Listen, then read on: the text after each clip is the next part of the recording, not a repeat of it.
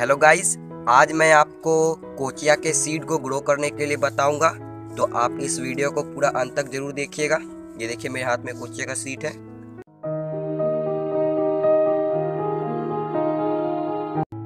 Guys आपको जो कोचिया का सीड ग्रो करने का टाइम है मिड फरवरी फरवरी के बीच से आ, आप ग्रो कर सकते हैं 10 फरवरी 15 फरवरी के बाद से लेकर मार्च का फ़र्स्ट वीक पहला सप्ताह या दूसरा सप्ताह तक भी आप ग्रो कर सकते हैं। आपको उस टाइम तक ग्रो कर सकते हैं। आसानी से ये ग्रो हो जाएगा। गाइस आप सोच रहे होंगे, मैं ये क्या बना दिया झंडा टाइप का? तो ये सॉइल मीडिया है, जो कि मैं सीड को ग्रो करने के लिए बताऊँगा। इसी सॉइल मीडिया में मैं ग्रो करूँगा। आपको बताता हूँ क्या क्या मैंने लिया है और क्या क्वांटिटी है। तो ये कोकोपीट है थर्टी परसेंट सैंड है फोर्टी परसेंट रिवर सैंड या कंस्ट्रक्शन सैंड और फिर ये काउडंग कंपोस्ट है, ये भी थर्टी परसेंट है। इसके जगह आप वर्मी कंपोस्ट भी यूज़ कर सकते हैं, जो आपके पास अवेलेबल हो।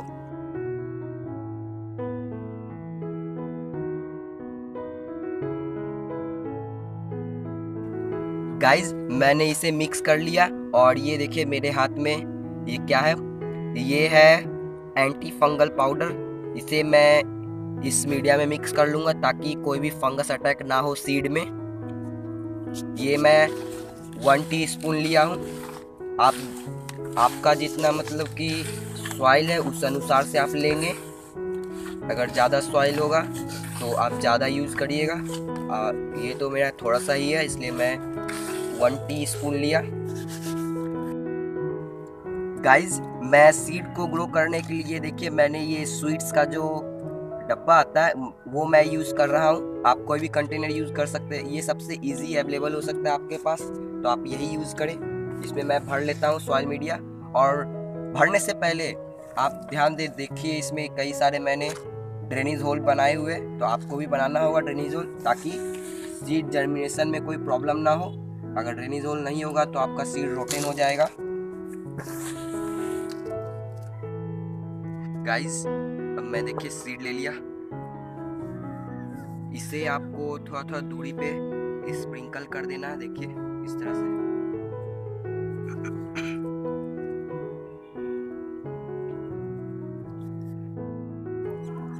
गाइस अब मैं इसमें वाटरिंग कर देता हूँ और आपको वाटरिंग जो करना है स्प्रिंकल से ही करे स्प्रिंकलर से ही।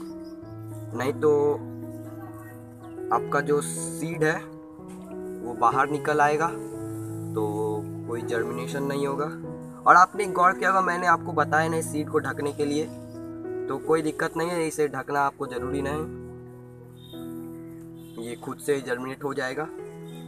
लेकिन अगर आप आउटडोर रख रहे हैं तो आपको ढकना पड़ेगा। इसके ऊपर हल्का सा एक लेयर लगाना होगा, एक और लेयर नहीं तो आपको इसे इस तरह से आपको करना होगा। इससे क्या होगा? उसके बाद फिर इसे आप ऐसे हल्के हाथों से दबा दें। ये जो सीड है, अंदर चला जाएगा। अगर आप चाहें तो इसे न्यूज़पेपर से ढक सकते हैं। नहीं तो ऐसे आप, इसे आप नहीं तो ऐसे ओपन में ही छोड़ सकते, कोई दिक्कत नहीं है। लेकिन आपको ये ध्यान रखना होगा कि इसका जो सॉइल है ड्राई नहीं होना चाहिए। सूखना नहीं चाहिए। इसकी मिट्टी जो है और वाटरिंग अच्छी तरह से मैं कर दूँगा।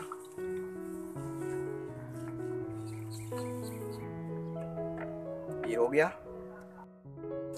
गाइस आपको जो है, ये जो सीड इसमें मैं ग्रो किया, उसे आपको इस तरह से ढकना है और इसे साइड से आप किसी धागे से बाँध दीजिएगा। प्लास्टिक हो या न्यूज़पेपर इस तरह से बाँध दीजिएगा तो आपको डेली वाटरिंग करने का ज़रूरत नहीं पड़ेगा। और एक और वाटरिंग अच्छी तरह से कर दीजिएगा। तो फिर तीन दिन के बाद इसे आप हटा दीजिएगा। तो आप देखेंगे इसमें कई सारे जर्मिनेशन आए हुए रहेंगे न्यू न्यू प्लांट निकल जाएँगे सीडलिंग्स फिर उसके बाद फिर आपको इसे सेमी सेड में ही रखना है।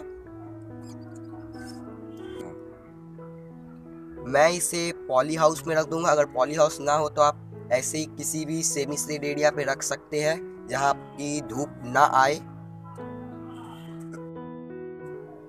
गाइस ये देखिए, ये जो छोटा सा आपको प्लांट दिख रहा है, ये ये जो मैं दिखा रहा हूँ, ये कोचिया का प्लांट है।